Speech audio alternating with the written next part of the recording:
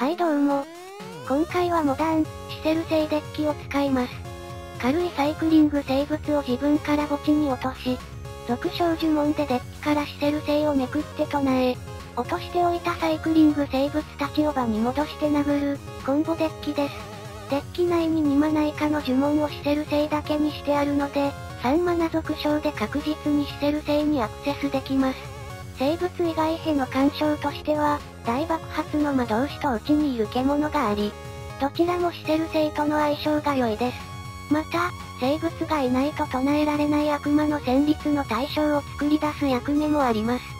どういう回り方をするかは実際に見てもらいましょうか。それでは対戦の方へ行ってみましょう。先手もらいます。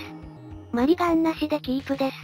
キープ基準はサイクリング生物がいるかどうかです。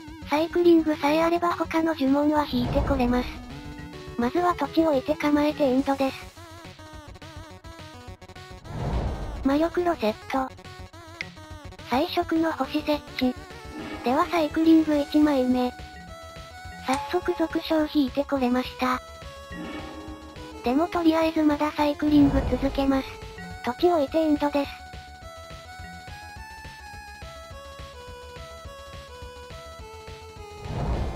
鉱山セット。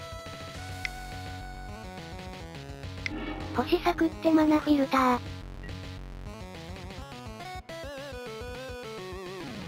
森の戦術でウルザ土地が揃いましたね。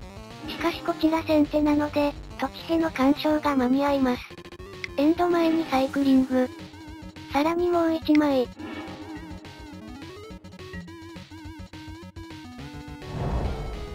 爆発の魔導士を使ってトロン土地を割りに行きます。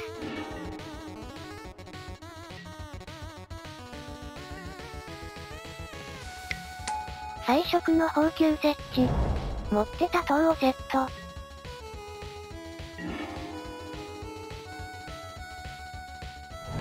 キルランショックインします。戦慄打つのに生物必要なので、相手の土地に獣を打って生物作りましょう。相手アップキープに土地対象でうちにいる獣。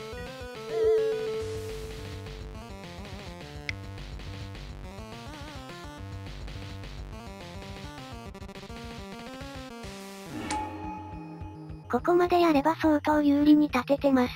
あとはシセル制裁打てれば罪ですね。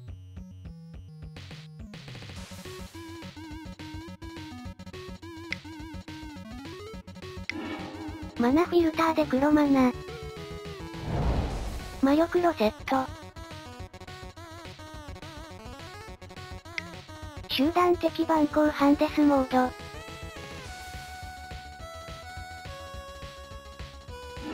悪魔の戦慄ディスカード。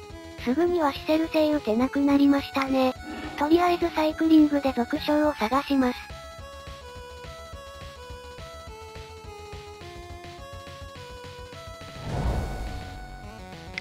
仕方ないので普通に待機して撃ちましょう。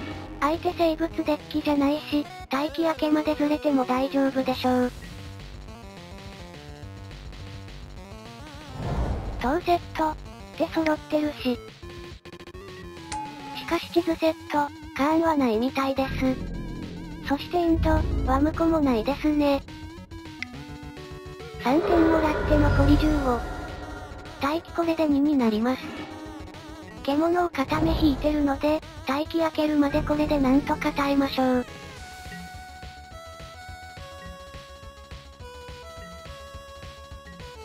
プキープに土地壊します。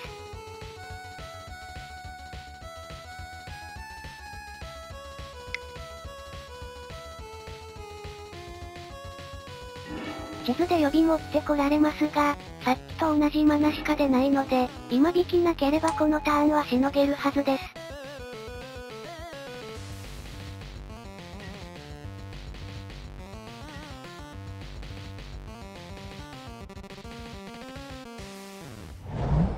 塔をセット。待機は最後のカウンターを取り除いた時に唱えます。だから次の次にキャストですね。獣パンチで残り12。待機残り1です。おっと、引いてきちゃいましたね。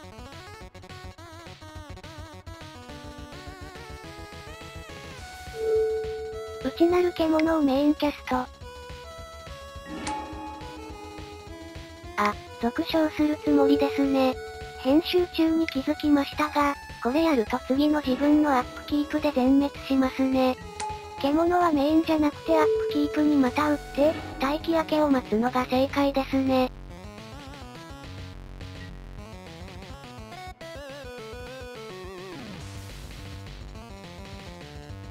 相手投了してくれました。待機がマストプレイなのに気づかなかったみたいです。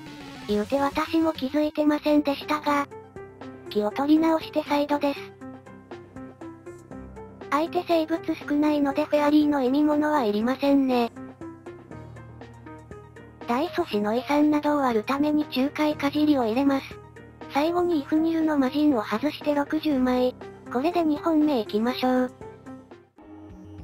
後手、サイクリング生物、土地とあるのでキープ。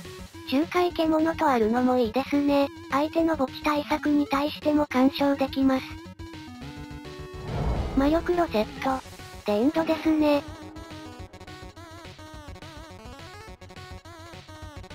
こちらも土地置いてエンドです。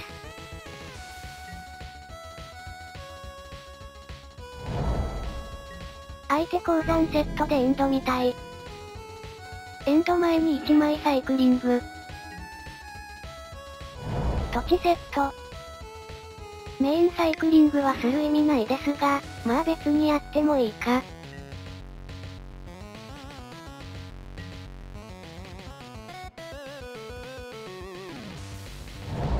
相手ナチュラルトロンですね。しかしカーンはないみたい。獣で土地干渉しに行くしかなさそうです。そうしないと塔2枚目から裏もぐされる可能性ありますし。フェッチセット。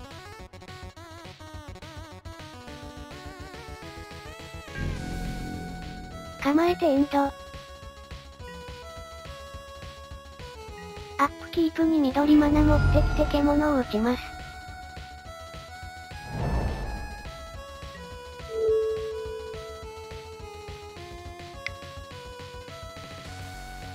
まあ塔ですかね。最後に置いたし。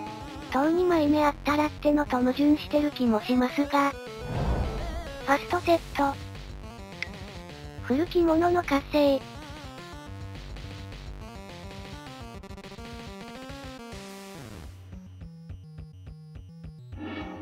最色の星サーチですね。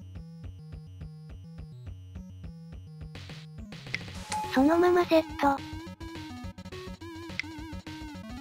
早速マナフィルター。活性2枚目。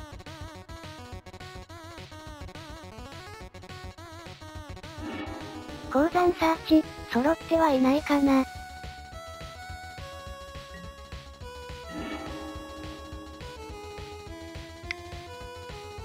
とりあえず1枚サイクリング。土地引くの嫌だったから先フェッチ切るべきでしたね。フェッチ起動。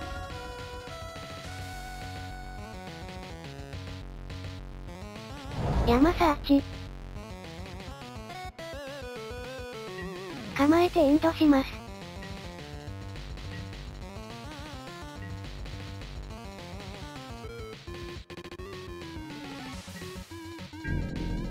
先に戦闘。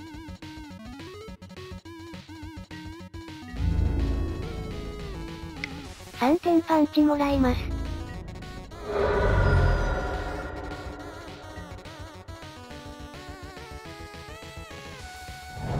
2枚目あったみたいです。あるいは今引きですかね。忘却石を設置。周回かじりで対処できるので大丈夫。エンド時サイクリングします。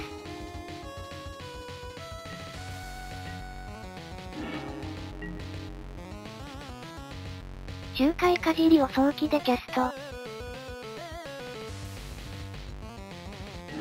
場に出て忘却石を破壊します。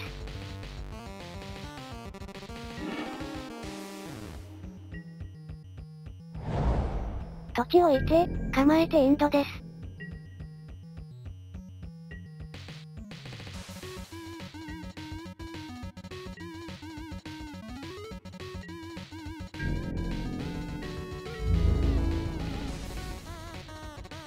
3点はもらっときます。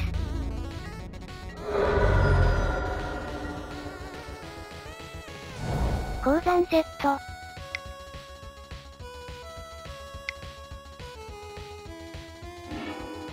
絶え間ない木が、裏もぐ。土地2枚を追放。追放前にマナを出します。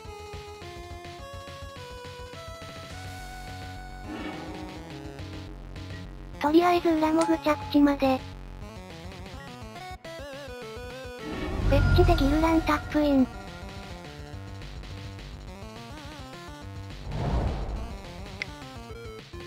浮いてるマナと合わせて暴力的な突発キャスト。俗称でシセル星キャスト。生贄なので裏モグも対処できます。そしてこちらの生物は全期間。場に20点以上あるので殴って勝ちですね。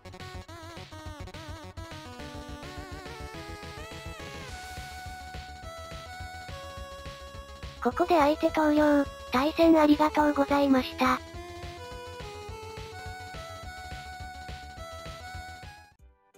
はい、いかがでしたでしょうか ?1 戦目の最後、相手気づかず投了してくれたから良かったものの、気づいてたら、大爆発の魔同士でペチペチ殴るという具だった展開になってましたね。待機は名じゃなくてますと、しっかり覚えておきます。競技リーグ回して2-3でした。なんというか弱点が多いデッキです。墓地対策もきついですし、単純に相手の墓地に生物溜まるのも困ります。ケチって黒力戦入れてなかったんですが、どうやらサイドに4枚は必須みたいですね。意味物では全然十分じゃなかったです。あと相手に黒力戦貼られて困ったので、追加のエンチャント対策が欲しいかな。メインの獣3枚だけでは足りません。黒さの掌握でもサイドに入れときましょうか。死の一撃のミノタウルスなしにしてあるタイプ使ったんですが、初手に確実にサイクリング生物欲しいし、入れといた方が良さそうです。あるいは F ニルの魔人増量でも良いかも。そうすればわざわざ相手の墓地に干渉しに行かなくてもいいし、シセル星打った後、能力で相手だけ除去できるってのは魅力的です。そうなると墓地対策は黒力戦じゃなくてもいけるかもしれませんね。能力誘発考えると意味物のままで良いか。まあとりあえず今回はこの辺で、また次回。ご視聴ありがとうございました。